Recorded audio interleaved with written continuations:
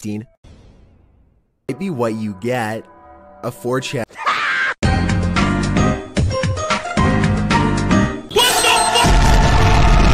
what the fuck?